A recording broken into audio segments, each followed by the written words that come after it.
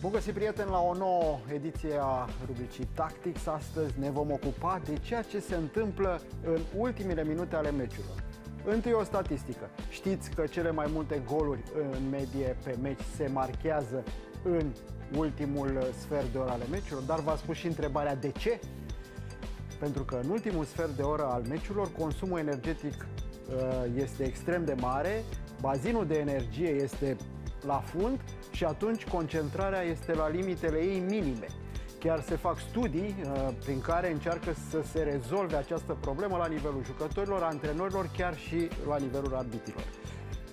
În ultimul minut al derbiului de duminică, Dinamo FCSB s-a marcat. A marcat uh, oaspeții partidei la o fază fixă. Nu putem să spunem sub nicio formă că dinamoviștii nu au vrut să se apere la această fază fixă. Sunt 10 jucători de câmp în care au pus portarul, așadar întreaga echipă.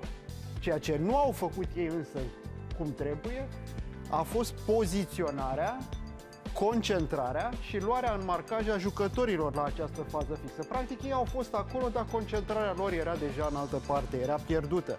Astfel încât, într-un moment ca ăsta, după execuția acestei lovituri de la, de la colț, veți vedea că mingea este respinsă într-o primă fază dintr-un buchet de jucători. Dar de asemenea veți vedea că sunt 3 sau 4 jucători în roșu care nu au niciun, niciun adversar în marcaj. Astfel se întâmplă că Hanca, cel care plânge după meci simțindu-se vinovat de ceea ce face, nu este cel mai mare vinovat al acestei faze. Cu, după cum vedeți, el era poziționat undeva pe respingere. În zona lui Teixeira trebuia să fi fost un alt jucător și acesta de regulă era cel care venea de la bara a doua, adică Olteanu. Urmăriți însă ce face Olteanu într-un astfel de moment.